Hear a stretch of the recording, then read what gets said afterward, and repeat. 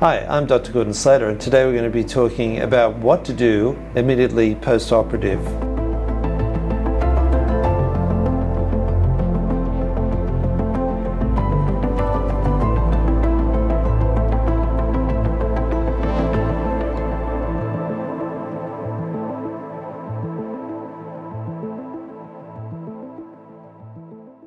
With the advent of Im image guided surgery and minimally invasive surgery, you're going to find that you're going to be going home immediately after the surgery. This is what we call a day case procedure or ambulatory surgery.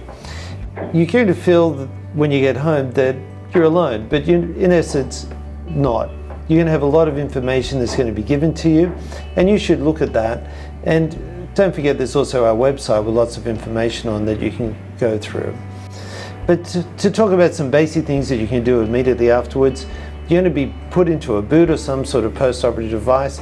You can loosen this off and if it gets really tight, don't be afraid to do so.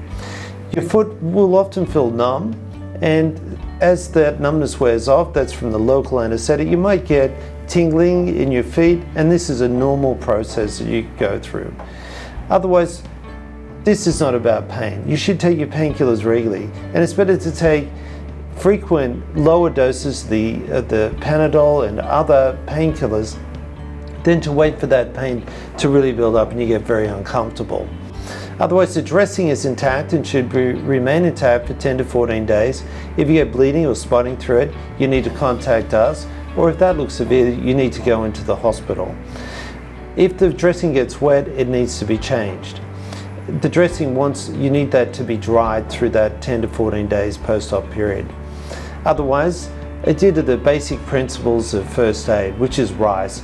You should be resting, you, should, you could apply ice, you should compress the wound and the compression is there in the dressing, and you should elevate mostly. Don't forget, we're here to help you. The office is open from 9 till 5, and don't forget we've got a website with lots of information on. Otherwise, I'm looking forward to seeing you at your next appointment and have a nice day. Thank you.